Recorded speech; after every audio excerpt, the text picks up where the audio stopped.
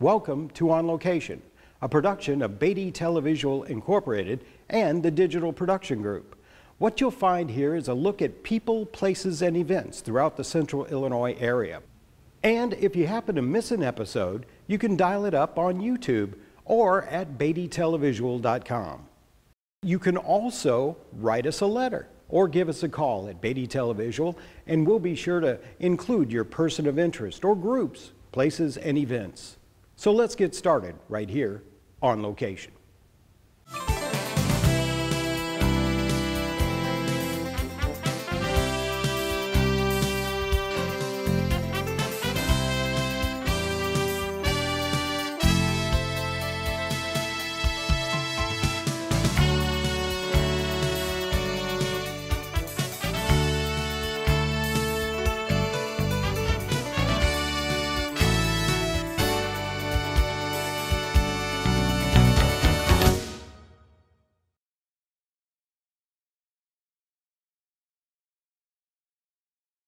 First off, we want to bring you a ceremony that was held at the Abraham Lincoln Presidential Library on July the 2nd.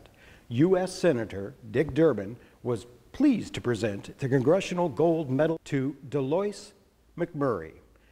So here's a few of the sights and sounds from that event.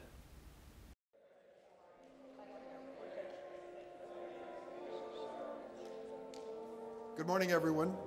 Welcome to the Abraham Lincoln Presidential Library and Museum.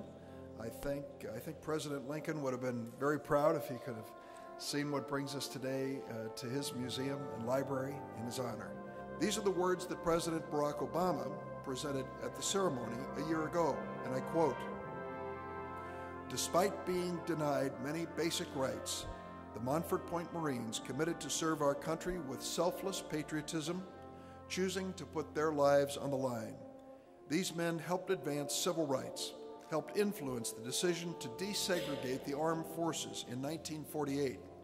Embodying the Marine Corps motto, these heroes paved the way for future generations of warriors, regardless of background, to serve in the finest military the world has ever known.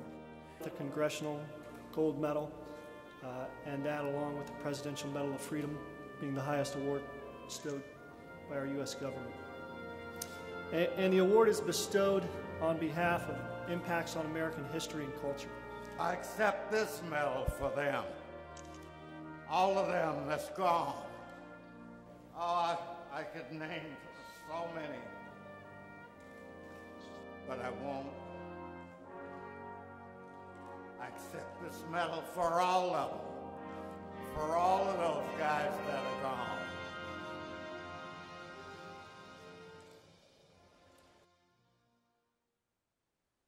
As we continue on now with our pilot episode of On Location, we're going to be speaking with the Honorable Mike Houston. We're going to take a look at his first term in office and this term in office and see exactly what it takes to be mayor. Thank you so much for allowing us to come in and visit with you today. Um, Mike, what I'd like to know is what makes you tick? What, what, is, what is behind Mike Houston? Well, you know, if you uh, take, a, take, a, take a look at uh, my adult life, one of the things that uh, I've really done is be involved in the community. And I enjoy being involved um, in the community. Most of that time has been spent in, in voluntary uh, types of, of activities. But uh, having had the opportunity to, to serve as mayor from 79 to, to 87 and then uh, having the opportunity to, to come back in, in 2011 is, uh, is really sort of a dream come true uh, for, for me. I'm, I'm really enjoying the opportunity to, to do what, uh, what I do. And most people say that, you know, are you crazy? Why do you want to do this? There's, you know, too many problems in, in that, that type of thing. But I, I really, really enjoy it, and it's uh, an opportunity for me to, to give back to the, to the community but more importantly, to, to try to move the community forward. And uh, the city of Springfield, both in terms of the community at large as, as well as city government, faces some, some real challenges. And how we handle the challenges today is going to dictate what type of future we have on a long-term basis. Now, you just said the hot button word challenges because for some individuals change is hard And you have a lot of challenges in this decade that we're in currently. So, how do you prioritize different things and how do you move on with them? Well, first of all, if you've been in this world for any time at all, this has been decades of, of change. You know, one of the things that uh, I had the opportunity to, to do between the time I left City Hall in, in 1987 and uh, came back in, in 2011 is I was in the banking business. And uh, I spent 24 years in banking. And banking was changing almost in its entirety every five years during that period of time. Mm. And one of the things you learn very, very quickly in terms of being in the real world is you really have to change because if you don't change, you're just going to fall by the wayside. And change is happening all over. One of the challenges facing city government is that when I left city government in 1987 and came back in 2011, basically, city government is operating the same way in 2011 that it did in 1987. The services are, are pretty much the same. In many ways, we deliver the services the same way. What has changed is the internet, computers, cell phones, and when you add that to the equation, almost everything within city government has changed, yet the basic way we deliver services is the same today as what it was in 1987. And the real challenge is to, to make city government more efficient, to be able to take the resources that we have within city government, which are, are very, very limited, and no one wants to pay more taxes, and use those resources in such a way that we can improve the product that we are, are delivering and actually provide a better level of service to the people of the, the city of Springfield. You know, I, I would remind you that on the day that I walked in to, to city government, we basically had a city government that wasn't functioning very well. Is, that, is it better now, though, with this form of government as opposed to what you worked with the last time? You know, um, what we have to, to look at is what we are working with today, not what we worked with in the past. The mayor aldermanic form of government is what is dictated by law. It does absolutely no good to think in terms of what things were in the past. What we have to focus on is what we're working with today and where we're going into the, into the future. So that when we, we talk in terms of trying to, to be more, more efficient, one of the first priorities that, that we had was trying to get the city's financial house in order because it's hard to be able to deliver services, number one, if you don't have money to, to do it but you really can't be doing a lot of things till you get the basics down. And when we walked into to office, which was April 29th of 2011, the average daily balance for the corporate fund, which pays for all the basic services of city government for the entire 220 working days of the previous fiscal year, was just a little over a negative $3.5 million a day. Now, when you're working with a balance that's just a little over a negative $3.5 million a day, you can understand why the city was having a hard time delivering services. So one of the things we did was we began to, to look at, at how we structured city government, the number of people we had in city government, and in that first 10 months of the remaining fiscal year, we took that negative 3.5 $5 million plus a day and turned it into a plus $728,000. And we ended this last February 28th, our average daily balance was just a little over $2.8 million. And that's a direct result of having a good management team that actually manages city government and manages the budget. It's not something that just happened. It's a matter of really managing city government and the budget and that isn't me. That is the team of people that we have. And right. every department head that we have is held accountable for their budget. And they really have done a very, very good job in terms of trying to take the resources that they have, reduce them where they can, and put the dollars into providing services to the people of the city of Springfield. And I think it, it is in fact paying off. So where do you see the city five years from now? Well, first of all, five years from now, I, I hope that uh, we are in, in much better financial shape than we are today.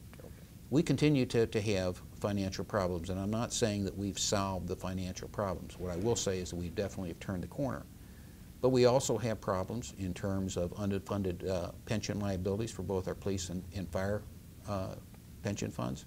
We have problems within uh, the utility in terms of the electric division has been, been losing money, and part of that is a result of what's happening on a, a national uh, basis in the price of electricity. Those are, are two problems that remain to be solved, and we need to constantly work on those. Five years from now, I really hope that we have funding in place and are really moving along in terms of the 10th Street corridor because as we look at the future of the city of Springfield, to me, there's nothing more important than getting that 10th Street corridor in place. Well, I certainly appreciate being here today, and I thank you very much for all your time you've given us. And I'm hoping that we can reoccur at some point in your life and come back and talk to you again. Sounds good, Kurt. All right, Have a great day. you. There are those people that work in our city that actually make our days a little bit brighter. We went and talked with Amie Meneghetti of Cool 101.9 to see exactly what makes her tick.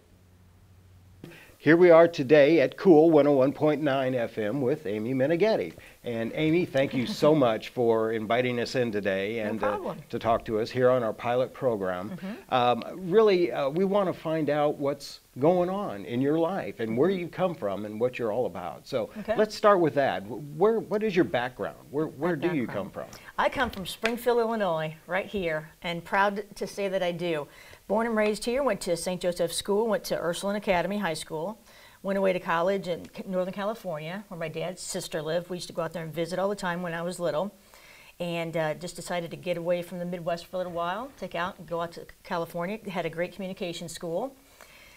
Graduated, uh, came back here, and boy, I started my career in radio at WTAX, running St. Louis Cardinal games and the Rush Limbaugh show, which was a real treat, let me tell you.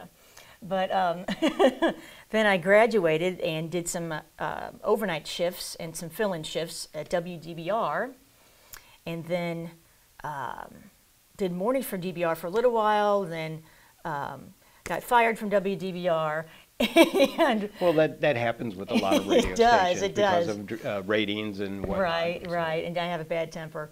And uh, anyway, um, then they uh, Saga Communications, this is our our parent company. They decided to start another radio station. They already had YMG here, WYMG, and they thought, hey, let's put an oldie station on the air. So myself and a gentleman named Dan Marcus and Steve Goldstein, who's the corporate program director for Saga, we all worked together for weeks and weeks and weeks, and it was really neat to see the inception of a radio station. You know, see what you have to do to actually get it on the air. You know. So ultimately, those radio waves were WVEM Yes, at one time. they were. So what was it like to do the transition between uh, that sort of format that they were putting out there Mm-hmm. and what you wanted to start up? Well, it really was just a blank blank piece of paper, you know, because it was ours now. We took the signal away, and we definitely knew that we wanted to do oldies.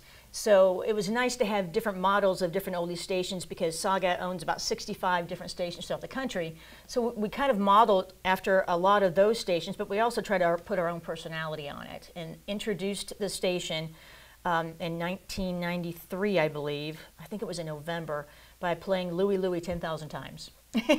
And that worked. It worked. People were like, "What's this station?" You know, because people were familiar with the 101.9, but all of a sudden the music has changed. Right. So we. So what happened after that? You you left Springfield. Yes, I was there at Cool for about five years. I left Springfield, um, went to upstate New York, and worked there for about three or four years. Loved it. Beautiful part of the country. Did mornings, and then I moved down uh, to Florida.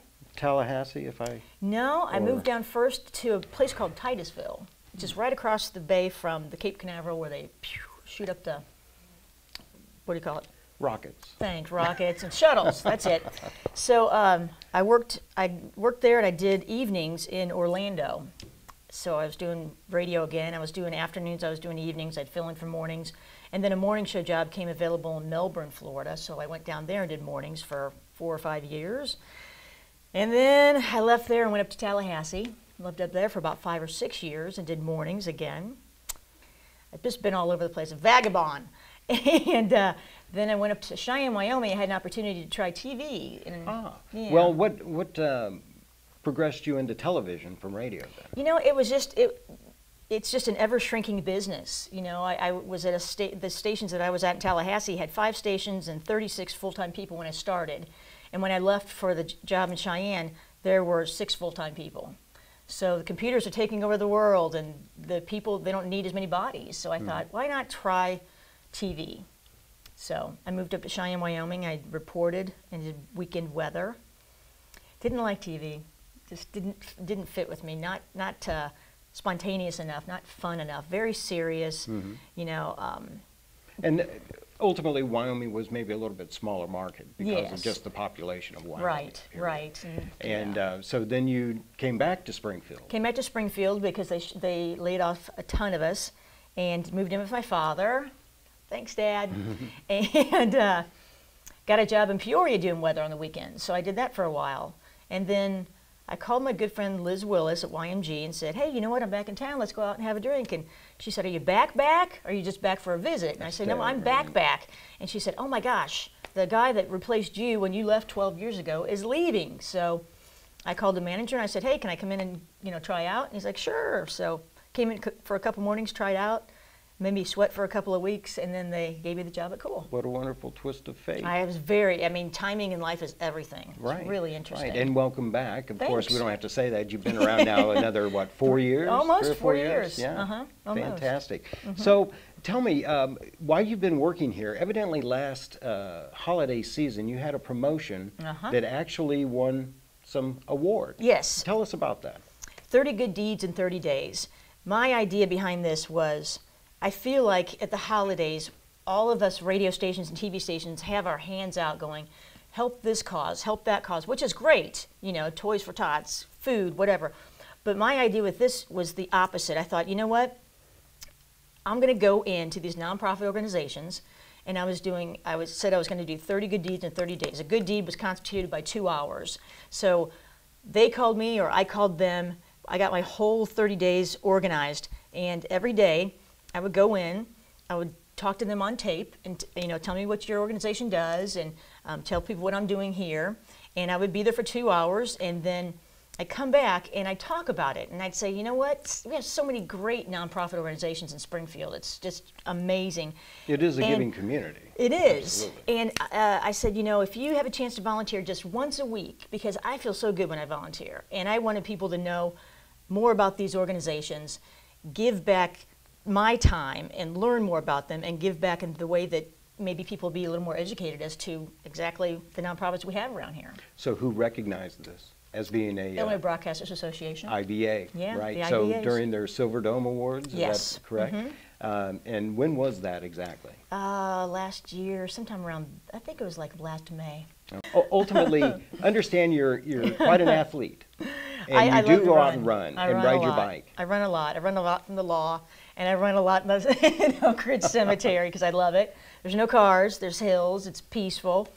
I love to stop and read some of the tombstones when you know I get winded or something. I love running up and down the steps in the back of the tomb. It's great exercise. I mean, it's just it's all natural. It doesn't cost me a dime. I can go whenever I want. So um, I've always been a big advocate of running and biking. Um, so, well, I want to thank you for your time today, problem. and for allowing us to come in your studio and Mm-hmm. and uh, talk with you and get to know you a little bit better. Good. Uh, hopefully, this won't be the last time you're on our program, Hopefully and we not. we hopefully have you back at some point. Okay. And um, When you get desperate, call me. yeah, well, we don't have to be desperate to call you, Amy. Uh, Lying. well, thank you so much. You're welcome. You're welcome. Well, it's just about time for the 2013 Illinois State Fair, and we will certainly be out there to cover all the activities that are coming up very shortly. Right now, though, the barns are being readied, the food vendors are on their way, and we sat down to talk with Amy Bliefnick, Illinois State Fair manager. And Amy, um, it's such an honor to be here, and thank you very much for being on our pilot program today. Um, I'm wondering if you could kind of give us a little background about Amy. Where'd you come from, and what led you to be State Fair manager? Well, the most interesting thing is my career goal in life was to never have a job, and look at me. you know, I uh, actually wanted to be a housewife and a mother and a community volunteer, and I was very blessed that I'm a housewife, a mother, and a community volunteer. Um, and I have three great children and three great grandsons and a, a, a great husband. But you know, this has a, been a great opportunity for me to be the first female state fair manager in the 160-year history, and I'm currently the longest state fair manager in the uh, history of now, the Illinois State Fair. This will be my ninth fair. Ninth fair. Ninth fair, and so Goodness. it's been a real pri privilege and a pleasure for me. My dad and mom used to bring us every year on Veterans Day because we could get in free. All veterans and their families get in free. And so the fair has always been a tradition in my family, but my background's in event management, so it seems to be a perfect fit. Now, since you've come to the fair, nine years, that's an awfully long time. So what are some of the changes that you have brought to the fair? Well, I think for me it's very important to remember the historical value of the fair. The fair began 161 years ago as a way to celebrate agriculture in this great state. And so agriculture is still at the forefront of everything that we do planning wise. Over 10,000 animals are here during the fair. That part's really important for me to keep. But I think it's important also to bring a little extra flair every year. And so what we try to do is bring good quality family entertainment at affordable prices in a place where a family can go walk down the street holding hands just enjoying a beautiful day. Now, ultimately, um, there are some uh, price changes as every year we get to it. So do we have price changes for this year? No, in fact, we're very happy to say that we have not increased our fees this year at all. It's still the, one of the most affordable fares in the whole entire country. Our admission fee for adults is $7, for children and seniors it's $3. Veterans and their families get in free on Veterans Day. Senior citizens get in free on Senior Citizens Day. And the last day is a bargain, $3 a day. So it's still affordable. And once you get on the fairgrounds, there we have 14 free entertainment stages. We have Kids Corner with free activities for kids to come and see and do. We have Happy Hollow full of great animal acts and activities. Which and is always Oh my gosh, so much fun. Right. Now, ultimately, um, it's a 160 year old fair. So what uh, what may be new, something new that has happened uh, that you're going to be presenting this year? Well, new this year, we've got so many things new. But you know, like we're going to have a new cheerleading classic, and that's going to be something new and different uh, that we haven't had in quite a few years. We used to have it all the time. We've got great entertainment at the grandstand. In Happy Hollow, we've got new animal acts. We're bringing on a bigger and better uh, CrossFit competition. We're having the cheerleading competition. We're doing um, show choir exhibition this year, which we've never done before. Uh, there's just really so much uh, to see and do once you get here. Well, it, you know, it seems to me that there's so much going on at the Illinois State Fair that one person probably couldn't get it all in. Well, that's kind of what we hope. We hope that people come and stay and, you know, actually, you know, make a weekend of it. Come spend a couple days at the fair, enjoy beautiful Springfield. You know, I think people forget the economic impact that this fair does play on the city of Springfield and the state of Illinois. Mm -hmm. When we did our last study two years ago, we found out that $49 million economic impact to the city and to the state because of the Illinois State Fair. You know, visitors who come from all over the country, who come and spend a weekend here, stay in the hotels, utilize the city services. And, you know, also we put lots of kids to work for the summer. And so it's really nice to see these kids can come and earn their college tuitions working at the fair. Which brings us to another point volunteers and also employees. Um, ultimately, the state fair, you online um, do request, you know, people fill out applications and all that. So, how is the uh, uh, employment situation and the volunteer situation uh, stacking up? Ultimately, where do you need the most help? Well, we hire summer kids all from for the whole summer and, and through different parts of the fair. We also utilize a lot of volunteers. We have our volunteers who man and operate our visitors information booths. They work in our State Fair Museum. They'll help us with different activities. And then we also hire, we hire volunteer groups who actually hire volunteer groups to work our gates and parking and admission. Volunteer groups help in the grandstand by selling beer and beverages and things. So there's a lot of opportunities for volunteers. There's a lot of opportunities for people to work and, you know, to make the state fair a part of their life. Now, is there somebody in particular that uh, our viewers can contact um, that if they wanted to volunteer for anything out here? In fact, it's really easy. We make it really easy. You can either call our office at 782-6661. Go to our website because on the website has all the information about volunteers, working, activities, things that are going on during the fair. You can actually go on the internet to our Illinois State Fair.info website, plan out your day, what horse shows you're going to see, what time your favorite band's playing in which beer tent or which street activity, what time the animal acts are. So you can go to the website and find out anything you need to know about the fair. And the husband calling contest. I think that's ultimately one of our favorites. Well, you know, that's that's one of those things so that when you talk about traditions, the Illinois State Fair has, has had the husband and hog calling competition probably since the 50s. It's one of the biggest things every year during the fair. Uh, in addition to that, another tradition that's extremely popular is the the butter cow. You can always tell when there's a new person right. when you mention the butter cow and they're like, what? It's a, a cow made of over a thousand pounds of. Now, uh, who, who's doing that this year? Well, we have a butter cow artist, Sharon BuMann. She's been the artist for the last eight or nine years. Okay. And she uh, uses a thousand pounds of Prairie Farms butter to uh, carve out a cow that actually represents the theme of this year's fair. Out of curiosity, I've always wondered what happens to that cow after the fact? Well, being a very sustainable state, we, we save the butter and we freeze it so that way it can be used again and we can actually recycle the butter for two to three years without having to replace the whole thing. Wow, that's, uh, that's a lot of biscuits over time. yes, it is. Yes, it is. Um, what, what's going on at the grandstand this year? Here we are. It's, it's kind of a cloudy, overcast day and the stage is blank right now, but who can we expect to see on stage? Oh my gosh, you know, every year I think we have a great grandstand lineup, but this year we really have one of the greatest grandstand lineups we've had in a long, long time. You know, our, probably the biggest headliner we have is Toby Keith, who's going to be here on Wednesday night for the fair, and Toby Keith with Kip Moore. But we also have other great country acts like the band Perry uh, with Randy Houser. We've got uh, Billy Currington with Lauren Alaina from American Idol. We also have uh, Thompson Square, Gary Allan, and Brushfire, and three other bands on Friday night. Uh, John Mayer with last year's American Idol winner, um, uh, Philip Phillips. With last year's American Idol winner, Philip Phillips. And then we have Kesha.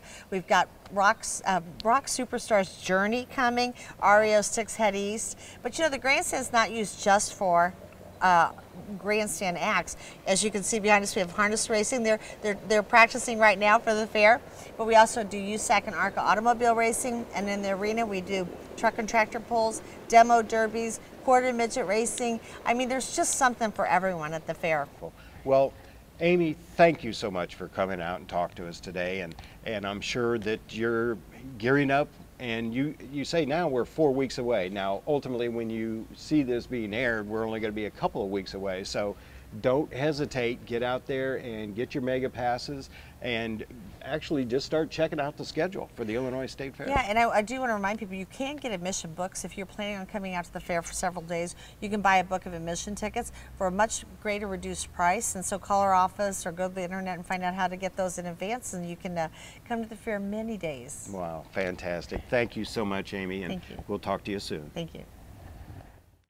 Thank you so much for joining us this week. If you have any concerns or ideas, please send them to us at Beatty Televisual, 1287 Wabash Avenue, Springfield, Illinois, and that's 62704. Or you can give us a call at 787 4747. Again, thank you so much. Thank you to my AAA production crew, that's Andy and Alexander. And of course, thank you to the viewing public.